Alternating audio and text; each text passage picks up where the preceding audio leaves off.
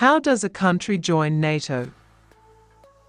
After deciding to apply to join NATO, a country has to put in a formal application.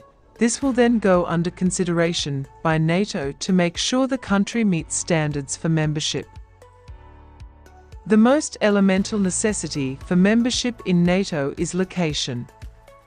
NATO stands for North Atlantic Treaty Organization, so a country in, say, South America wouldn't be eligible for membership.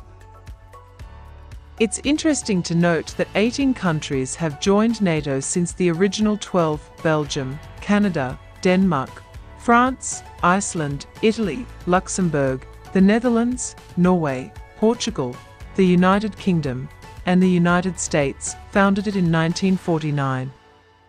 None have left.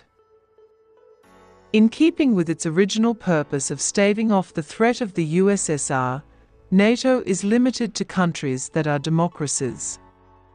Similarly, members must have market economies run by the principles of free enterprise, not the state-driven system used by the Soviets and other totalitarian regimes.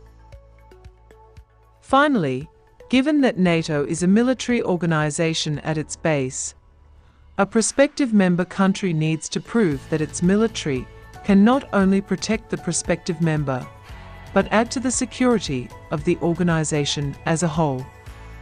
During the Cold War, the US footed the bill for a lot of the military hardware and personnel deployed in Europe, but that balance is shifting now that more NATO countries are beefing up defense. The vote to approve membership in NATO must be unanimous, and then the new country's own governing body has to vote to approve the membership. It's expected that both Finland and Sweden will be starting the process soon, and there don't seem to be any huge roadblocks to both being approved in short order. Thanks for watching.